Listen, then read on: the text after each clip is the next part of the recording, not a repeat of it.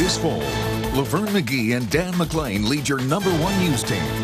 CHCH News at 6 weeknights. Watch CHCH News, the most dependable name in local news for Hamilton, Halton, Niagara.